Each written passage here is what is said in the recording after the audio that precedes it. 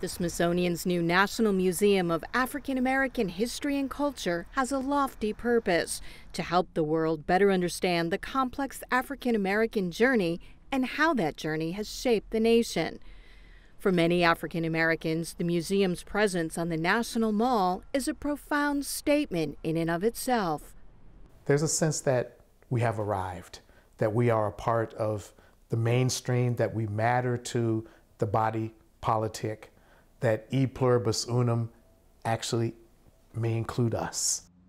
Spirituality, so important to the African American journey, is embedded in the building's very structure.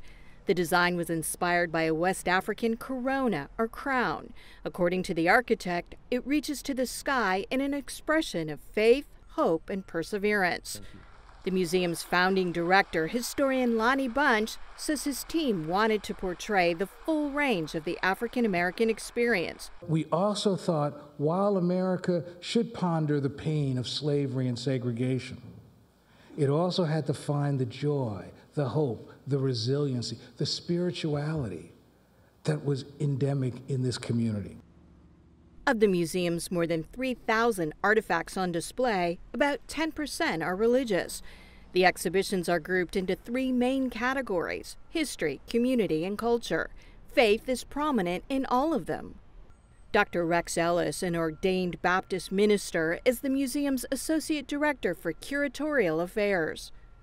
There's no way you can talk about, discuss, or even acknowledge the contribution of African American history without acknowledging the very real presence and power of faith as a part of that history. Howard University's School of Divinity Dean Alton Pollard III specializes in religion and culture. He applauds the museum for incorporating religion throughout its exhibits. When you take culture away and simply refer to timelines, events, occurrences, without understanding what are all the nuances that give meaning to those timelines, then you lose something. So culture is absolutely imperative. And what's at the, the root of culture? Religion. While Christianity and the black church are given the most attention, the museum also highlights other religions. Islam receives a strong focus, both the Nation of Islam and mainstream Sunni Islam. But Judaism, voodoo, African traditional religions, and folk spirituality are also acknowledged. One large piece of art is a bottle tree thought to capture evil spirits. Ellis says it's all part of the stories of African Americans.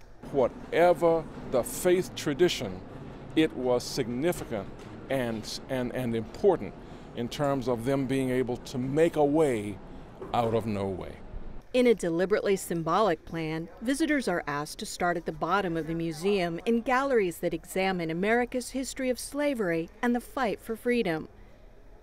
Among the artifacts displayed here, a blood-stained Bible owned by Nat Turner, the slave who led a famous rebellion. Also, a hymnal owned by abolitionist Harriet Tubman. Exhibits show slaves looking to faith to find hope.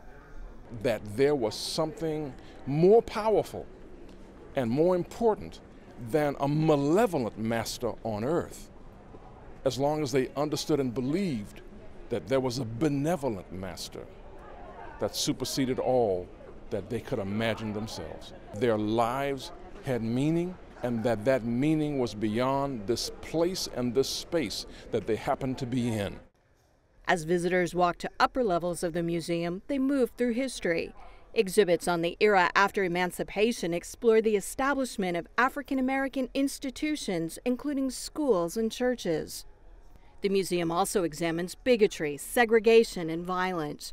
In some areas, there are warning signs that the images may not be appropriate for younger and more sensitive visitors. Pollard says he hopes visitors will look at those exhibits with an open mind. We have to look at the blemishes and the warts as well as all of the beauty marks that constitute who we are as a society.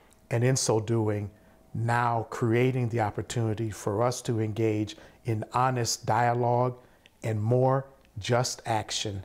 Many exhibits note the key role of black churches in the civil rights movement, from the leadership of pastors Martin Luther King Jr. and Fred Shuttlesworth to the bombing of 16th Street Baptist Church in Birmingham.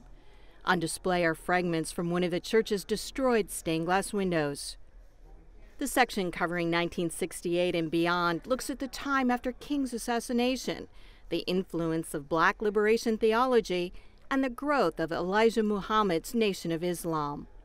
The top floors of the museum focus on contributions of African Americans in several arenas, including the military, sports, fine arts, and contemporary culture. The substantial Musical Crossroads Gallery highlights sacred music. Artifacts here include the piano of Thomas Dorsey, called the father of gospel music, along with a lime green suit worn by the gospel group the Dixie Hummingbirds and their 1973 Grammy. Group member Reverend Joe Williams is pleased to be part of it. There's so many people who planted the trees that other people can enjoy the shade now. We should know the story of the struggle. In addition to the exhibits, the museum houses the Center for the Study of African American Religion, dedicated to preserving religious artifacts and researching African American faith. The center was established through a grant from the Lilly Endowment. The amount of material can be overwhelming, and many people are already complaining about what is and isn't covered. Pollard says the museum should not be considered the final word on the black experience. There is a danger if it is assumed that the museum can encapsulate everything that is to be said about African Americans. That would certainly be tragic. Indeed, Smithsonian Institution Secretary David Skorton says one of the main goals of the new museum is to facilitate ongoing conversations about race and culture. This museum can be an ideal gathering place to learn, to hold conversations, to be inspired, and to be uplifted. Bunch says it's not just about the past. Ultimately, this museum looks back, helps contextualize where we are, but hints at what a future can be, can maybe even help us find reconciliation and healing. Pollard says as a minister, he hopes the museum's emphasis on faith can help provide a new vision these people had such a profound faith, no matter how one's faith is defined. They had such a profound recognition that in the midst of severe trial and terror, they yet and still could believe in a God that would bring salvation to their individual lives, but more importantly, to their collective lives. They believed so profoundly in the power of the sacred that it would even be possible for their faithfulness to redeem the nation. He believes that's a lesson still greatly needed today. I'm Kim Lawton in Washington.